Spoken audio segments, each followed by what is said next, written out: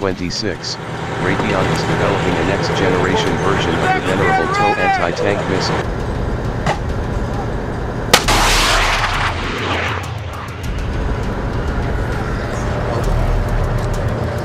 Washington, Raytheon is developing a next-generation version of the venerable TOW anti-tank missile. Its range will be almost 50% greater than the current TOW-2B and twice that of the original model introduced in 1970. And it will likely boast a new fire and forget option will allow the missile to guide itself to the target without a human gunner steering it. With this and other improvements, the Army plans to keep the TOW family in service into the 2050s. That's eight decades after its introduction, a lifetime comparable to the Army's CH-47 Chinook helicopter and the Air Force's B-52 bomber. In fact, the TOW missile was mandatory equipment for the original version of the Army's future replacement for the M2 Bradley, the optionally manned fighting vehicle. While the service is now rebooting OMFV with all options on the table, Raytheon is still aiming to deliver the next-gen version on the original timeline, 2025 to 2026. Part of the TOW has been upgraded and replaced since the early days. Of the many variants currently in service, the latest anti-tank model, the TOW-2B, already has a 4.5 kilometer, 2.8 mile, range, compared to 3 kilometers, 1.9 miles, for the original model, and a completely different warhead the original TOW impacted directly on an enemy tank's armor and exploded, using the shaped charge effect to blast through armor.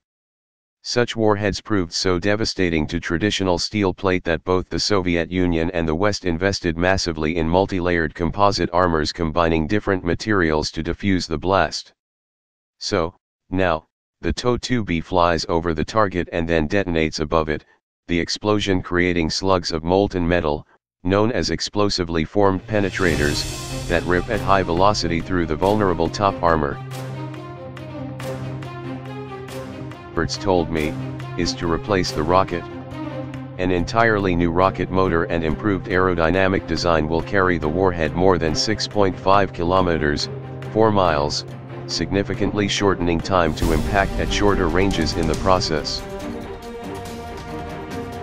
Originally TOW referred to how the missile spooled a control wire behind it, a towed wire, as it were, that let the operator fly it precisely to the target like a plane. The official, contrived, acronym is tube launched, optically tracked, wire guided. Nowadays the W stands for wireless, because ever since 2009, the more modern versions dispense with the physical wire.